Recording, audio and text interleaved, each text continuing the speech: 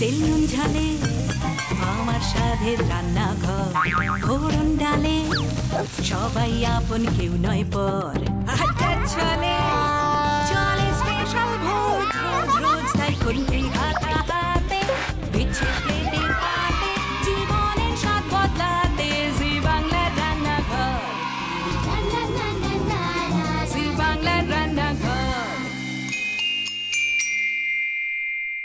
চলে এসেছি খাঁটি ভোজন রসিকদের পছন্দের ফরচুন কাচ্চিঘানি খাঁটি সর্ষের তেল প্রেজেন্ট জি বাংলার রান্নাঘর নিয়ে আমি সুদীপা আপনাদের সকলকে জানাই স্বাগত। আজ থেকে আবার রোজ রোজ কম সময়ে রেসিপির খোঁজ। হ্যাঁ আজ থেকে রোজ পাবো আমরা তিন তিনটে রেসিপি তিন তিনজন গেস্ট আর সময় খুব কম, মাত্র পাঁচ মিনিট।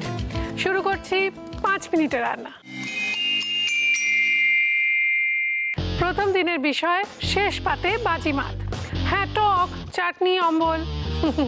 যা খেয়ে বাড়ি গিয়েও আমরা মনে করি আহা ওদের বাড়িতে চাটনিটা কি ভালো খেয়েছিলাম। কই, আমাদের বাড়িতে তেমনটা হয় না? হবে হবে, সকলের ঘরে ঘরে আজকে থেকে খুব সুন্দর চাটনি আর অম্বল তৈরি হবে। এবং তার জন্য তৈরি আমরাও তৈরি আমাদের প্রথম গেস্ট প্রিয়াঙ্কা, নমস্কার। প্রিয়াঙ্কার হাতে ওটা কি?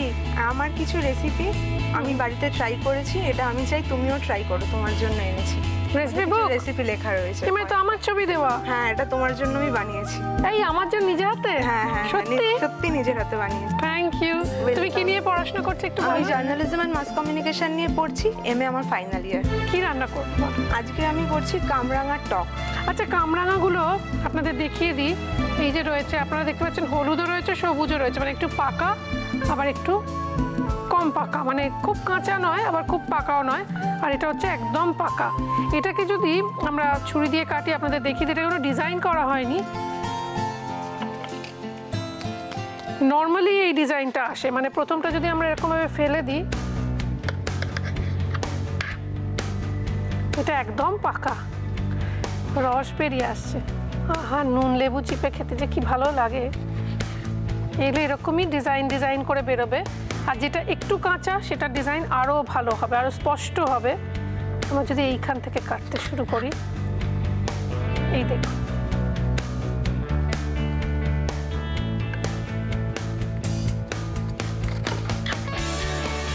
দেখিয়ে দিই। এইগুলো কি সুন্দর তারা তারা। তো চলো অল দ্য বেস্ট কি কি লাগছে আমরা জানব তার আগে তেলটা গরম বসিয়ে দিই। তুমি তো জানো তোমার হাতে সময় মাত্র পাঁচ মিনিট পারবে তো? হ্যাঁ হ্যাঁ পারব। শিওর হ্যাঁ শিওর কি তেল লাগছে? সাদা সাদা তেল তেল লাগছে। সেক্ষেত্রে তুমি দাও তেলটা। সেক্ষেত্রে আমরা ব্যবহার করছি Fortune soya health refined soybean oil একটু জেনে নেব কি কি লাগছে। সর্ষে পাতিলেবুর রস কি? হ্যাঁ পাতিলেবুর রস ওটা শুকনো লঙ্কা চিনি নুন হলুদ কামরাঙা। তোমার সময় শুরু হচ্ছে প্রিয়াঙ্কা ঠিক এখন থেকে। আমরা প্রথমে সর্ষেটা দিয়ে দেবো। আমি তোমার হাতে হাতে এগিয়ে দিচ্ছি সর্ষে। একটা স্পুন দাও।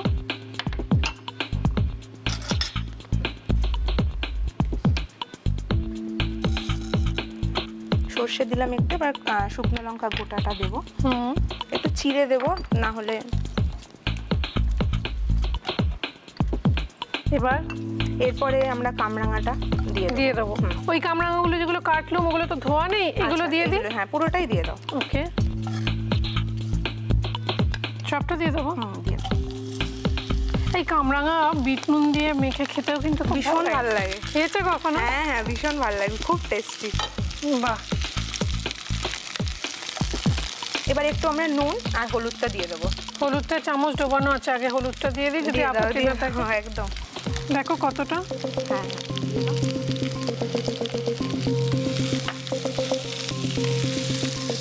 নুনটা তোমাকেই দিতে বলব কারণ তোমার ট্রিক্স আছে তিনবার দেওয়ার। ওটা আমি কীরকম খেতে হয় বলো? আমি এটা একটু টক টক হয়। টক টক। হ্যাঁ, মিষ্টির টক মিষ্টি। একটু কম হবে টক টক হ্যাঁ। মিষ্টি ওকে। অনেক। এবার? এরপরে আমরা জল দিয়ে এটাকে ঢাকা দিয়ে দেবো। এটা একটু হালকা ভাপানো হবে হ্যাঁ। বাহ তুমি যতটা বলবে আর দেবো। ব্যাস ব্যাস না লাগবে আগে ভাপিয়ে নিতে হবে চিনি দিলে সেদ্ধ এরপর হবে না। আমরা একটু ঢাকা দিয়ে দেবো। হুম। ঢাকা দিতে কি লাগবে? হ্যাঁ তুমি পা- তাড়াতাড়ি হয়ে যাবে। হ্যাঁ। এটা যতক্ষণ তুমি ঢাকা দিয়ে সেদ্ধ হতে দিচ্ছ তো আমরা একটা উম, টিকটিকে মনে পড়ল। না, না টিকটিকি না। দেখে নিন Fortune tip of the day বেরেস্তা মুচমুচে করার জন্য পেঁয়াজ ভাজার সময় একটু খাবার সোডা দিন। তারপর ভাজা পেঁয়াজ পেপার টাওয়ালের উপর রেখে দিন। এইবার যেটা করতে হবে এটা ভাপানো প্রায় হয়ে এসছে। এবার এই তো এবার এর মধ্যে কি দেব? এর মধ্যে চিনি দেবো। চিনিটা আগে দিইনি কারণ তাহলে এটা সিদ্ধ হতো না বলে। টাইম লেগে যেত বেশি হ্যাঁ ঠিকই বলেছ। এবার আমরা চিনি দিয়ে দেবো।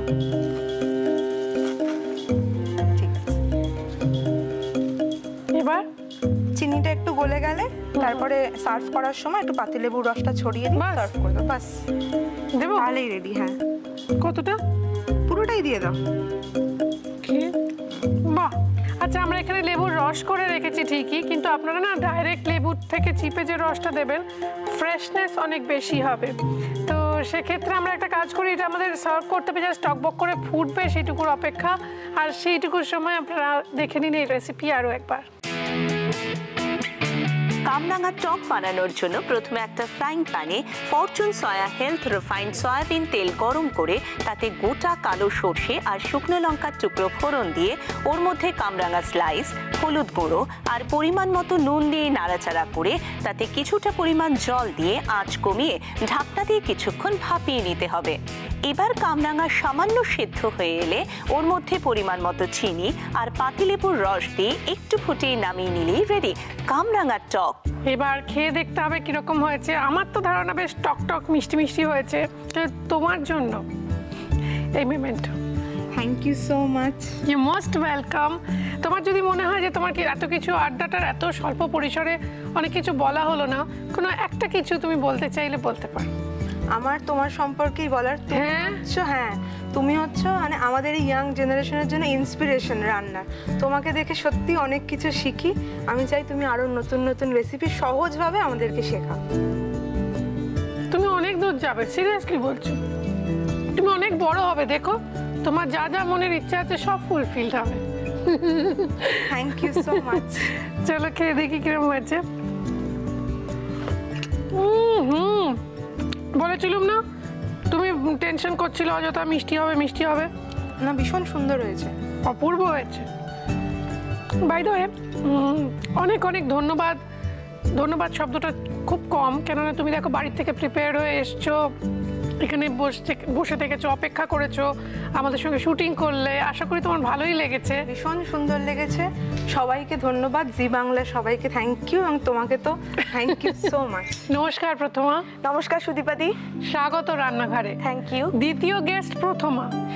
হ্যাঁ এটা মানে একটা অন্যরকম ব্যাপার হয়ে গেল উল্টে গেল ব্যাপারটা। প্রথমা তো বাচিক শিল্পী না? হ্যাঁ ওই টুকটাক আবৃত্তি করি আর কি। টুকটাক? আর হ্যাঁ তার সঙ্গে ওই থিয়েটারটা আমার খুব ভালো লাগে তো থিয়েটারটাও করি।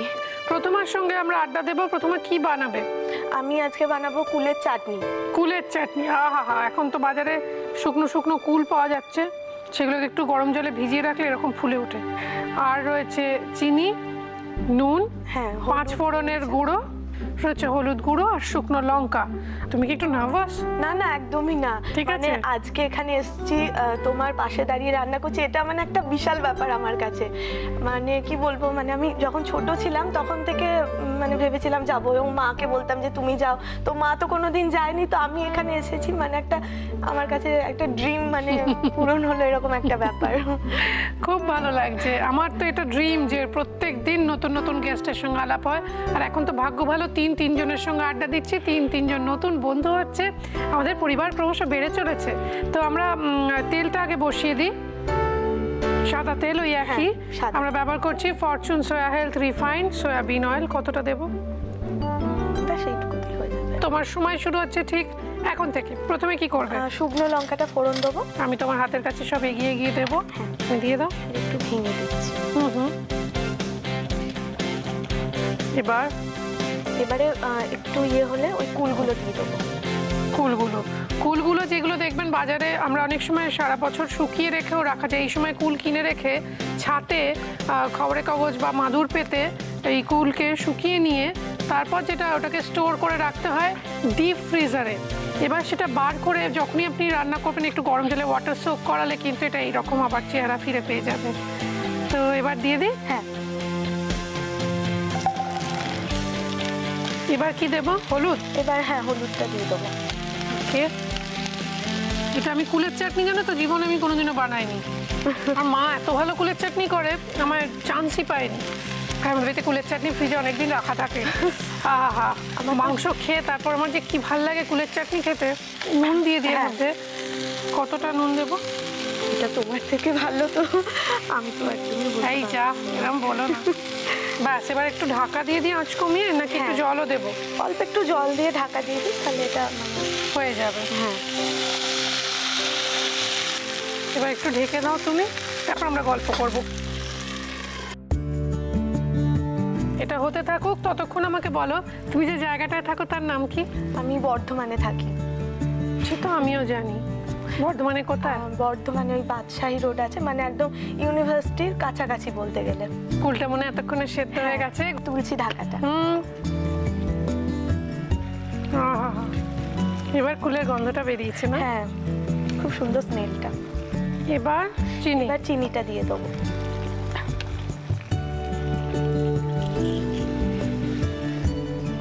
এটা পড়তে থাকুক, আমরা জাস্ট ওপর থেকে আবার ছড়াবো যদিও মানে এটা আমরা দর্শকদের দেখানোর জন্য দেখিয়ে দিচ্ছি।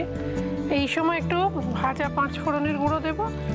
এই পাঁচ ফোড়নের যে ভাজার গুঁড়োটা, এটা কিন্তু আমরা পুরোনো দিনের বইতে পড়তাম যে শুকনো খোলায় চমকানো পাঁচ ফোড়নের গুঁড়ো, সেইটা দিয়ে চমকে দিন সকলকে। দেখে নিন রেসিপি আরও একবার। টোপাকুলের চাটনি বানানোর জন্য ফ্রাইং প্যানে সামান্য Fortune soya health refined soybean oil গরম করে তাতে শুকনো লঙ্কার টুকরো ফোড়ন দিয়ে, ওর মধ্যে বেশ খানিকটা পরিমাণ পাকা টোপা কুল দিয়ে হালকা নাড়াচাড়া করে তাতে হলুদ গুঁড়ো, স্বাদ মতো নুন আর কিছুটা জল দিয়ে আঁচ কমিয়ে ঢাকনা দিয়ে কিছুক্ষণ রেখে দিতে হবে। এবার কুল সেদ্ধ হয়ে এলে তাতে অনেকটা পরিমাণে চিনি আর ভাজা পাঁচ ফোড়নের গুঁড়ো দিয়ে ভালো করে জাল দিয়ে নামিয়ে ওপর থেকে আরও কিছুটা ভাজা পাঁচ ফোড়ন গুঁড়ো ছড়িয়ে শেষ পাতে সার্ভ করুন টোপা কুলের চাটনি। এটা তোমার জন্য। Thank you so much you most welcome এবার চেখে দেখব চাটনি। হুম, হুম, হুম, হুম, হুম। চাটনি ভালো হয়েছে। কেন তোমার খাটনি বৃথা গেল না? Thank you you most welcome ভালো থেকো কেমন? শান্তিকা নমস্কার। নমস্কার দিদি। স্বাগত রান্নাঘরে। কেমন লাগছে? খুব ভালো লাগছে। আর সব থেকে বেশি ভালো লাগছে তোমার পাশে এসে দাঁড়াতে পেরে। আর তোমার জন্য আমার তরফ থেকে একটা ছোট্ট গিফট আছে। তো তুমি এটা নিলে আমি খুব খুশি হব। নিশ্চয়ই। উপহার নিতে কার না ভালো লাগে? কিন্তু এটা কি আছে কি? এর মধ্যে তোমার লেখার জন্য তোমার একটা ডায়েরি আর? সেটা দিয়ে পেন দিয়ে লেখা। গুড থ্যাংক ইউ এটা ওই দিকটাই রাখো এখানে খাবার দাবার রয়েছে। এটা open with a sweet smile আমার আই হ্যাভ স্মাইল বাট আর তুমি সবসময় সুন্দরী স্মাইল দিয়ে প্রোগ্রামটা শুরু করো তো কার্ডটাও একটু সুইট স্মাইল স্মাইল দিয়ে করবে। দিলুম সুইট স্মাইল উমায় তো আমি মনে হচ্ছে। একদম তাই। একটুখানি হারিয়ে একটুখানি পাওয়া তাল মিলিয়ে চলতে থাকে খুশির আসা যাওয়া। কিছু স্মৃতি ভুলে আবার স্মৃতি রোপণ তাল মিলিয়ে চলতে হবে এরই নাম জীবন। জীবন মানে Zee Bangla. God bless you God bless you too তোমা এদিকেও আছে। কি সুন্দর সুন্দর আমি এটার বাড়ি নিয়ে যাচ্ছি হ্যাঁ? Thank you so much thank you welcome দিদি। এবার অম্বল খাব তাই তো? তার আগে একটুখানি শুনি তোমার বাড়িতে কে কে রয়েছেন? মানে আমার বাড়িতে মা বাবা আর আমি। চলো অম্বল বানাই। এবং অম্বল বানানোর জন্য তেঁতুল রয়েছে শুকনো লঙ্কা রয়েছে রয়েছে পাঁচ ফোড়ন ভাজা গুঁড়ো রয়েছে নুন চিনি হলুদ গুঁড়ো পাঁচ ফোড়ন। তো রান্না শুরু করব। হুম কি তেল লাগবে? সাদা তেল। সাদা তেল। আমরা এবার এক্ষেত্রেও ব্যবহার করছি Fortune soya health refined soyabean oil কতটা দেবো? অল্প পরিমাণ দাও। সিনেমা টিনেমা দেখো। আমি দেবের খুব বড় ভক্ত। কীরকম ভক্ত? কত বড়? মানে কত বড় বলতে ওর বার্থডে টোয়েন্টি ফিফথ ডিসেম্বর তো আমি ক্রিসমাসের দিন কেকও জন্মদিন। হ্যাঁ সবাই ভাবুন যে যীশু খ্রিস্টের জন্মদিনের দিন দেব জন্মেছে সেটা দেবের জন্মদিনটা আগে বলছে। যিশু খ্রিস্টের জন্মদিনটা পরে এটা আমাকে অনেকেই বলে। দেব এখন কঠোর পরিশ্রম করছে চ্যাম্পের জন্য এবং চ্যাম্পের জন্য বক্সিং শিখছে। এভরিডে ও অন্তত মানে সাত থেকে আট ঘণ্টা শুধু পরিশ্রমই করে যাচ্ছে পরিশ্রমই করে যাচ্ছে। কোনো দিকে আর ও এত কাজের একটা ছেলে মানে কাজের সময় কাজ ছাড়া কিছু জানে না। তাই আমাদের মনে পড়ে গেল এখন আমাদের বক বক করা সাজে না। তোমার সময় শুরু হচ্ছে ঠিক এখন থেকে কি দেবো? এর মধ্যে গোটা পাঁচ ফোড়ন দেবো। পাঁচ ফোড়ন গোটা আচ্ছা গুঁড়োও রয়েছে ওকে। এর মধ্যে তারপরে শুকনো লঙ্কা চিড়ে গোটা শুকনো লঙ্কা চিড়ে দেবো। ভেঙে। হুম। এরপর আমরা এখানে তেঁতুলগুলো সব পাকা যে তেঁতুল রয়েছে সেগুলো দিয়ে দেবো। এর- মধ্যেই হ্যাঁ পুরোটা। সিড সমেত। হুম। তো এখনই জিভে জল আসছে বাবা। এবার এর মধ্যে একটু হলুদ গুঁড়ো সামান্য পরিমাণ। তুমি রান্না বান্না করো না মাঝে সাঝে? হ্যাঁ আমার রান্না দেখা তোমার এই রান্নাঘর থেকেই শেখা। আর তারপরে আমি তোমার থেকে এখান থেকে আমি মোমো ফার্স্ট ট্রাই করি শেখা খুব ভালো। এবার কি দেবো জল? এরপর একটু জল দেবো।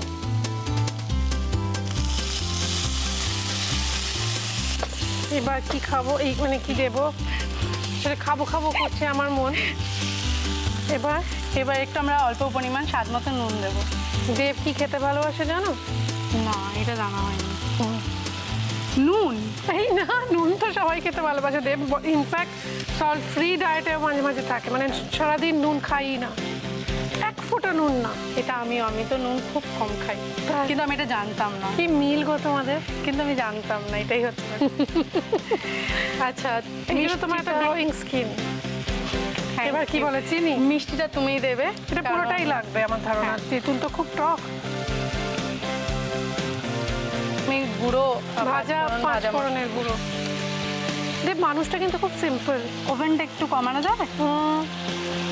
ও কিন্তু জানো তো আবার বেশ মাটিতে আসন পেতে ভাত আলুর চোখা ডাল দিয়ে খেতেও ভালোবাসে। এটা জানি। এটা জানো? এটা শুনেছি আমার বন্ধুদের আচ্ছা আমি তোমাকে একটা প্রশ্ন করব। দাঁড়ো আগে রান্নাটা আমাদের কমপ্লিট হয়ে গেছে ঘুরিয়েও ঘড়িও স্টপ করে দিচ্ছি। কিন্তু রেসিপিটা দেখিয়ে দিই তারপর তোমাকে একটা প্রশ্ন করব। দেখে নিন এই সুন্দর রেসিপি আরও একবার।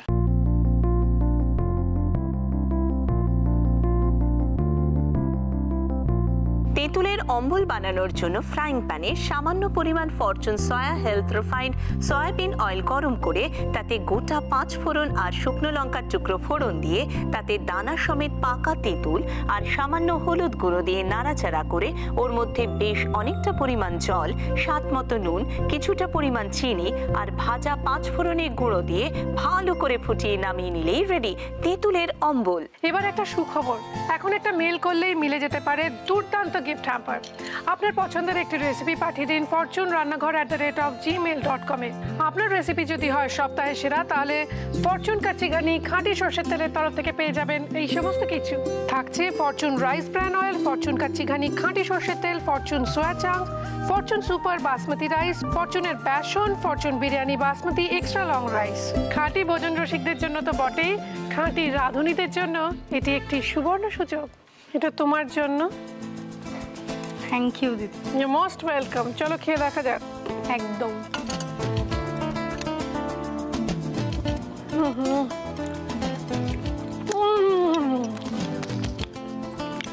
মানে অম্বল তো?